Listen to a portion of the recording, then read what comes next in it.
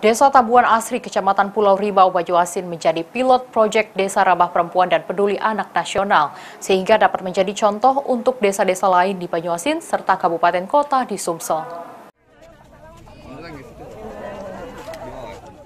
Desa Tabuan Asri, Kecamatan Pulau Rimau, Banyuasin menjadi pilot proyek Desa Ramah Perempuan dan Peduli Anak atau DRPPA nasional sehingga menjadi contoh bagi desa-desa di wilayah Banyuasin dan kabupaten kota di wilayah Sumatera Selatan. Kehadiran Menteri PPA I Gusti Bintang Puspayoga dan Kepala BKKBN RI Hasto Hardoyo diawali dengan melihat langsung proses pemberian pelayanan KB di Desa Tabuan Asri.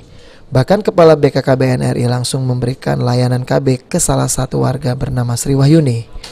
Kehadiran Kepala BKKBN RI tidak lepas dari keberhasilan Kabupaten Banyuasin dalam menekan angka stunting di bawah rata-rata nasional. Pelaksanaan penetapan Desa Tabuan Asri menjadi Desa Pilot Project dilakukan di halaman kantor desa.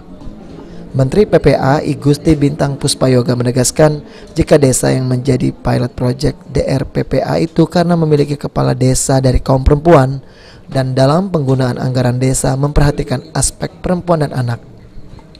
Diharapkan agar semua perempuan diajak untuk semua kegiatan yang ada, sehingga perempuan dapat berinovasi dan lain sebagainya. Dalam kunjungan kerjanya, baik Menteri PPA dan Kepala BKKBN Republik Indonesia menyerahkan empat penghargaan kepada Bupati dan Ketua TPPKK Banyuasin atas keberhasilannya dalam mencegah stunting dan komitmennya dalam perlindungan perempuan dan anak di sidang paripurna istimewa DPRD HUT Kabupaten Banyuasin ke-20 tahun. Ya, langsung saja Pak. Ya baik, jadi hari ini saya menghadiri ulang tahun Banyu Asin yang ke-20 dan saya melihat prestasi kita ukur dengan uh, indikator dari sisi keluarga berencana hmm. di antaranya adalah capaian uh, percepatan penurunan stunting di sini di bawah rata-rata nasional 23 persen ini bagus. Dan yang kedua penyerapan anggaran tahun 2021 di sini 99% anggaran ini. Ya ini juga bagus.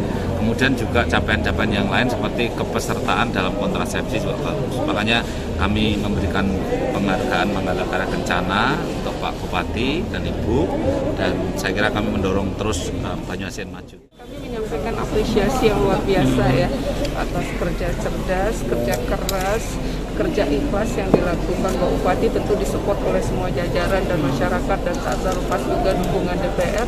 Mudah-mudahan sinergi kolaborasi yang sudah dibangun di Kabupaten ya. Banyuasin ini untuk mewujudkan Banyuasin yang bangkit, adil dan sejahtera ini tetap harus dibina. Makasih Bu. Sulaiman Pal TV